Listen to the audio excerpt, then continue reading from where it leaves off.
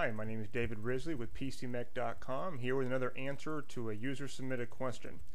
Uh, this person says that they have a computer which will not turn on anymore. They've apparently had it to Best Buy. They've had the power supply tested, and Best Buy is reporting that the motherboard is bad. So basically, what's happening is that they're hitting the power switch and nothing happens. So this does happen from time to time. There are a few things. Basically, like any PC troubleshooting, you have to take it as a process of elimination. So when you're uh, the first thing you obviously want to do is test the power supply. Now I'm assuming that Best Buy did that.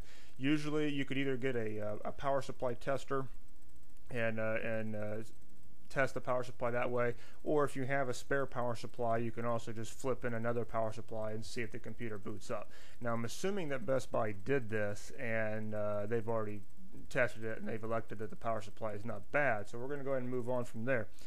The uh, next thing that I would be interested in would be grounding inside the computer. Now, when you basically, if you have a loose screw or anything that's inside the case is metallic and it's touching the motherboard itself, it could ground the motherboard and will keep the entire thing from starting up.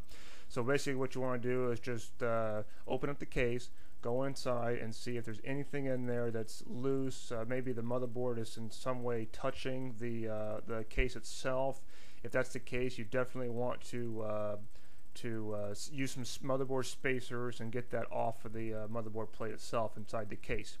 The next thing you're going to want to check out would be the CPU itself. Now it's probably not going to be the CPU because, uh, well the reason I mention the CPU is because if the CPU is overheating because it has inadequate cooling, the, uh, the computer is just going to turn itself off in order to protect the processor. However, um, usually what happens in an overheating situation is that the computer will begin to boot and then it will shut itself off. The fact that you're hitting the power button and getting absolutely nothing happening tells me it's probably not your CPU.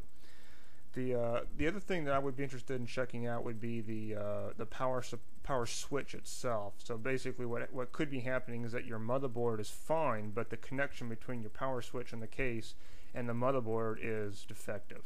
So the way you'd want to test this is you'd want to uh, open up the case and you'd want to go to the little uh, set of pins that's on the motherboard. You'll find that the power switch lead is going to be a little black rectangular uh, two pin connector that's connected into two pins on the motherboard itself.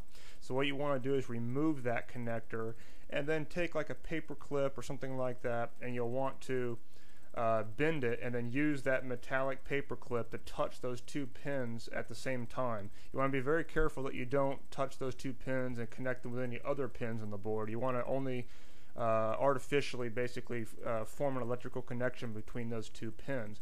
If the PC then boots up, then you know that the switch on your case is bad or the wire that goes from your switch to the motherboard is bad. If it still does not boot up, then what's probably the case is that your motherboard has gone bad. So you say that Best Buy said it's the motherboard. After all is said and done, it actually could be your motherboard. In which case, you know, you're looking at essentially rebuilding the computer. Um, you know, because mo- changing the motherboard out is kind of a big deal. But I would definitely check that power switch first by shorting out those two PSU pins and uh, and seeing if it turns on. That would be the the ultimate test, and then uh, from there, uh, you're looking at a motherboard replacement. So I wish you the best of luck with that, and uh, thanks for submitting your question.